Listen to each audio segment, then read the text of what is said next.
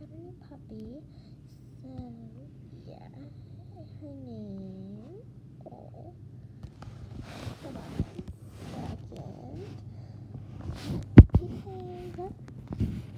Paisley.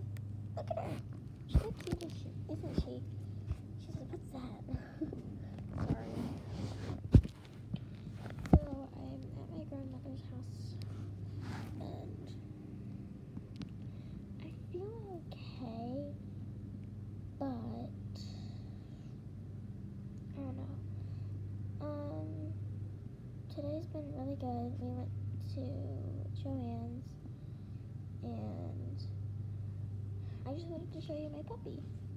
Well, her puppy. So, bye.